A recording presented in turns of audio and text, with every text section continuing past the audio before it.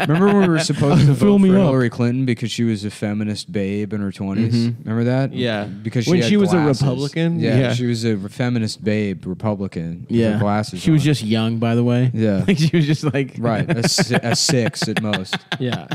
I mean, she looked better, you know, than I thought. Janet Reno probably never looked. She just had like, long that good. hair. That's it. Yeah. Instead of that Dude, stupid they tried to do that with Ruth Bader Ginsburg too. They were like, "Look how hot she was." No, but they do it. Even, eh. it's it's even worse because Wrong. they do. That bitch was busted. I would not fuck her in a million years. Her pussy was probably fucked up. It's even worse because they like do that like notorious RBG thing, which is like we're giving her like a black guy nickname. Yeah, yeah. They- She's hip. They would put the little they She's put the little crown on her Yeah. to look like Biggie. Yeah. I call her Ruth Nabib Ginsburg.